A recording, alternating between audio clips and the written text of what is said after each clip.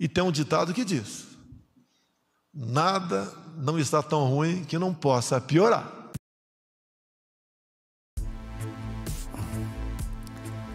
Amigos e amigas do canal Portal Rodoviário, como é que vocês estão? Tudo bem com vocês? Eu espero que sim. Pessoal, como é de conhecimento de todos vocês, houve um reajuste aí no preço do óleo diesel, né? É cerca de 25 centavos por litro. Então vai impactar muito aí nas despesas do caminhoneiro, do pequeno frotista.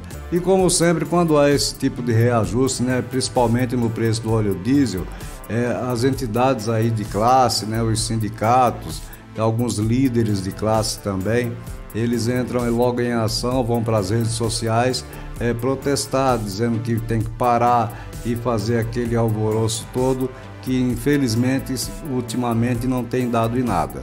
E a grande pergunta é: quem é o pai da criança? Por que, que teve esse aumento agora? E parece aquele jogo de empurra-empurra, né? Um fala que é por causa da alta do preço do dólar, outro fala que é a alta do preço do barril no mercado internacional, mas quem fica prejudicado é o caminhoneiro autônomo, né? O caminhoneiro que vive do transporte, que depende disso aí para sustentar a sua família.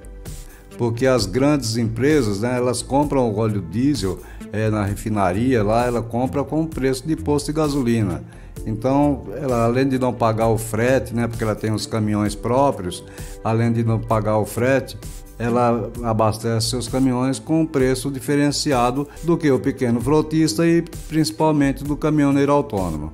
Então, 25 centavos por litro de óleo diesel, para alguns pode parecer que é pouco, mas no bolso do caminhoneiro é muito, porque o caminhoneiro ele gasta muito óleo diesel nas suas viagens, mesmo nos centros urbanos ele gasta muito óleo diesel. Então, a cada mil litros, 250 reais.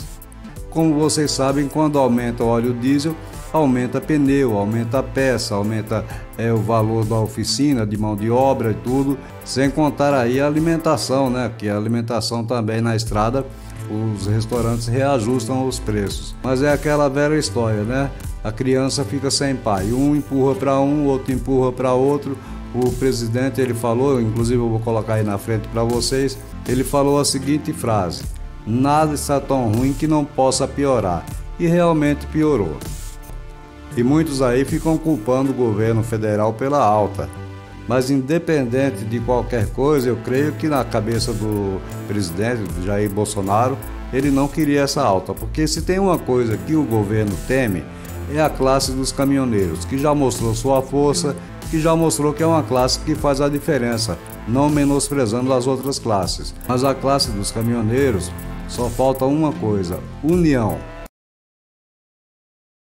porque o presidente da República fala uma coisa, o presidente da Petrobras fala outra, aí vem os ministros e fala outra, vem o Paulo Guedes fala outra, então fica aquele jogo de empurra-empurra, aquela enrolação e o único prejudicado aí, a classe mais prejudicada é a classe dos caminhoneiros que transporta a maior parte das cargas do Brasil e no momento como esse fica aí é igual filho sem pai completamente abandonado sem saber o que fazer. Porque é muito fácil aí para quem tem 100 caminhões, 200 caminhões, mil caminhões, administrar, comprar óleo diesel na refinaria e aproveitar que o frete sobe alguma coisinha para lucrar ainda mais. Só que ela não repassa esse lucro para o caminhoneiro autônomo. E segundo a imprensa, essas altas já eram esperadas. Sai uma notinha no G1 que diz assim: Na segunda-feira passada, a Petrobras já havia informado que estudava o reajuste dos combustíveis e reafirmou que não faria mudanças na sua política de preço. Entendam bem. Ela bate o pé e fala que não vai fazer mudança na sua política de preço, que acompanha os valores do mercado internacional e também a influência do câmbio. Segundo o presidente da estatal, o Joaquim Silva e Luna, o papel de zelar pelo preço dos combustíveis é do governo, do Ministério de Minas e Energia, do Ministério da Economia e da Casa Civil. E ela ainda diz que tudo que excede a R$ reais não é de nossa responsabilidade. Aí no caso falando da gasolina. E aí chegamos na inflação, que em 2021 o etanol, a gasolina e o diesel estão entre os itens que mais subiram no ano. Eu recebi no meu WhatsApp um texto que ele diz exatamente assim: Prestem atenção: o aumento do diesel e a anistia a infratores da lei do piso mínimo causam indignação aos caminhoneiros autônomos. O aumento do diesel irá agravar ainda mais a indignação dos caminhoneiros autônomos diante das decisões do governo federal. Após o anúncio do reajuste de 8,89% no preço do óleo diesel. Isso um dia depois do presidente Jair Bolsonaro anistiar empresas que descumpriram a lei do piso mínimo de frete nos últimos três anos.